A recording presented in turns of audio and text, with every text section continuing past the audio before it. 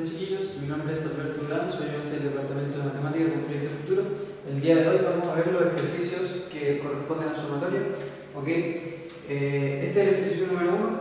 Eh, nos pide calcular la sumatoria de 1 a 20 de eh, la fracción entre 1 y 4k menos 1 por 4k más 3. Okay.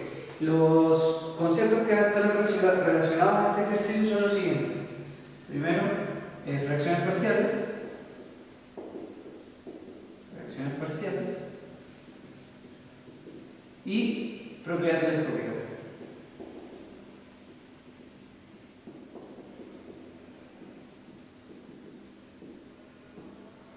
¿Ok? ¿Por qué? Porque primero, nosotros no tenemos ninguna fórmula para resolver así como está esta fracción. Por lo que primero lo que tenemos que hacer es separar las fracciones parciales ¿ya? y después hacer un arreglo para obtener la propiedad telescópica o aplicarla directamente. Tenemos que eh, observar cómo se comporta el ejercicio. Por lo tanto, comenzamos. Lo primero que vamos a hacer es analizar solo esta expresión, ¿ok? Para separarla en dos partes, cosa de poder aplicar la propiedad telescópica. Entonces, paso 1. Analizamos esta, esta expresión.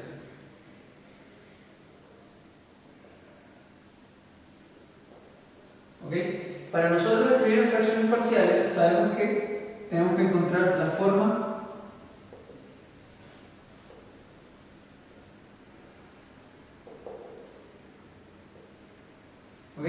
Nosotros tenemos que transformar esto, este, esta fracción, en esta suma de fracciones.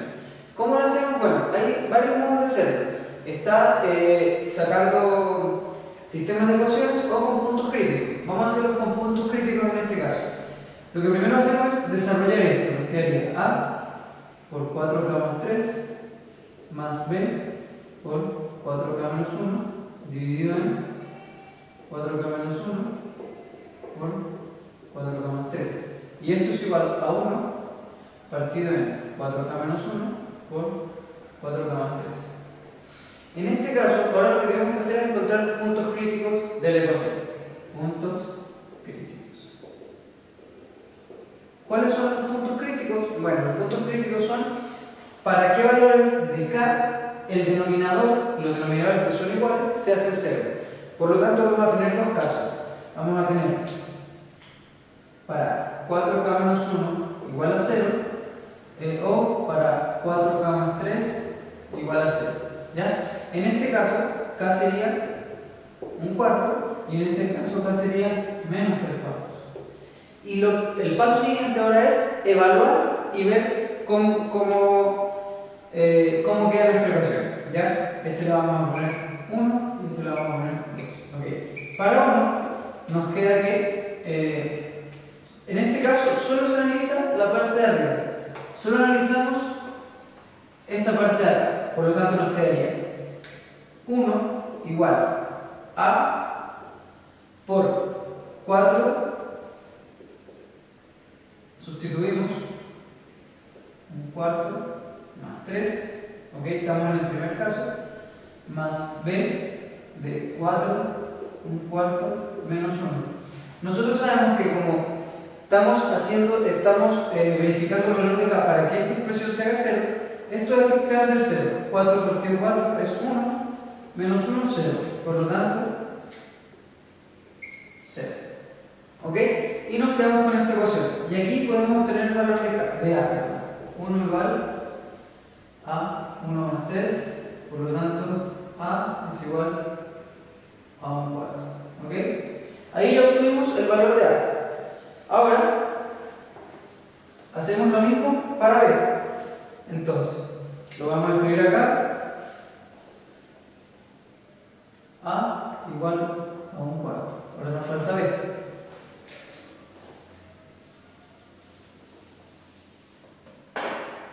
Ahora, con el segundo.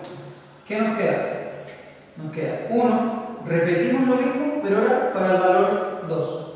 Nos queda 1 igual a A por 4 menos 3 cuartos más 3. Sabemos que esto se nos va a hacer 0 más b igual a 4 menos 3 cuartos menos 1. ¿Ok? Entonces, en este caso sabemos que esta expresión nos hace 0, 4 partido en 4 menos 3 y menos 3 más 3 0. Por lo tanto nos queda esto. Nos queda 1 igual 4 partido en 4 menos 3. Nos queda menos 3 menos 1. Y obtenemos que b es igual a menos un, un cuarto. No, no, no. Una vez que obtuvimos los valores de A y B, podemos reescribir nuestra ecuación. Entonces, borramos acá. Y nos quedaría es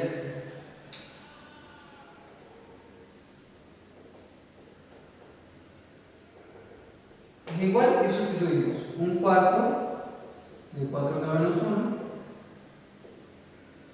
más menos, perdón, un cuarto de 4K más 3. ¿Ok? Una vez teniendo esto, terminamos el primer paso que era escribir en fracciones parciales. El paso 2 ahora va a ser eh, la propiedad telescópica. Para esto volvemos a escribir toda la sumatoria, pero aplicando la propiedad de las fracciones parciales.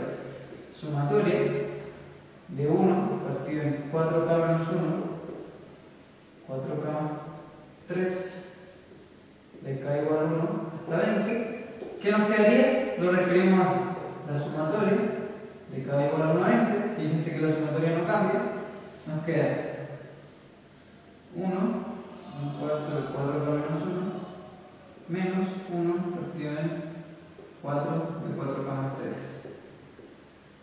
Ya. Ahora, en este caso, aplicamos propiedad telescópica, aplicamos propiedad telescópica. Pero primero tenemos que verificar que esto sea de la forma A más 1 menos A sub k o A sub k menos A más 1, que era la condición necesaria para, para aplicar la propiedad telescópica. Bueno, ¿cómo sabemos si se cumple o no esto?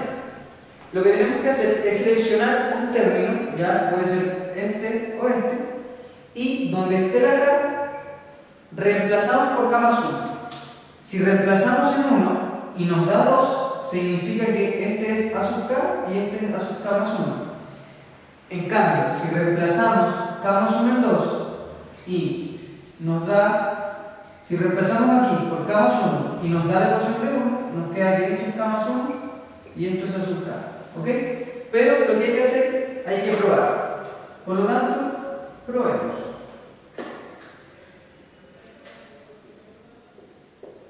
Entonces, yo voy a probar con este. Voy a decir que A sub K es igual a 1 partido en 4, 4K menos 1. Entonces, tenemos que verificar quién es A sub K más 1. ¿Ok? Por lo tanto, A sub K más 1 es 1 4, reemplazamos 4, K más 1. Fíjense que el 4 está multiplicando a toda la por lo tanto el K más 1 va entre un paréntesis. ¿Y a quién es igual eso? A 1 partido de 4, de 4K más 4 menos 1. Y si notamos,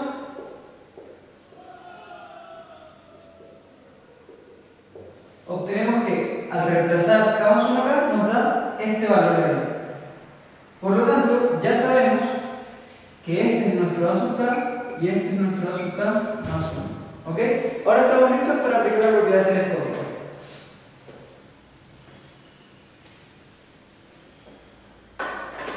Por lo tanto, ¿cómo sería la propiedad telescópica?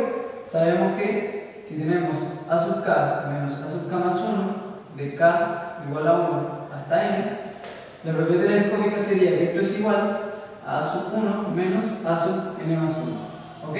Por lo tanto, lo que tenemos que hacer es en el factor a sub k reemplazar por el primer término que es 1 y en el factor a sub k más 1 reemplazar por n en este caso. Tendríamos la siguiente ecuación, la sumatoria de k igual a 1 hasta 20 de 1 partido en 4 por 4k menos 1 menos 1 partido en 4 por 4k más 3 sería igual a quién? nuestro término sub k reemplazando por 1, por lo tanto nos quedaría 1 partido en 4 por 4 por 1 menos 1 menos, se mantiene este signo, el término k más 1 reemplazando el n. Por lo tanto sería 1 dividido en 4, 4n más 3. Pero en este caso, ¿quién es nuestro n? Es 20. Más 3. ¿Ok? Aquí voy a señalar que aquí usamos 20 y aquí usamos 1. Y ahora lo que queda es operar algebraicamente para obtener el resultado. Entonces, ¿cómo nos quedaría que esto es igual, a se repite aquí, es igual a 1 partido de 4 por 4 por 1, 4, menos 1, 3, menos 1 partido en 4, 80 más 3, 12 menos 83 1 partido 12 menos 8, 12 eh, 8, 26 32 eso sería igual a 32 menos 12 partido 32 tanto, esto sería eh,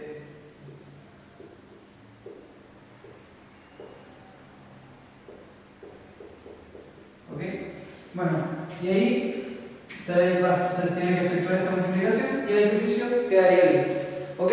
Lo importante del ejercicio es los pasos que seguimos acá, que son fracciones parciales primero, separar este, el A y B y ver eh, encontrar los valores de A y B y después aplicar la unidad telescópica y verificar cuál es nuestro valor a sub k y cuál es nuestro valor a sub k más 1 para luego reemplazar.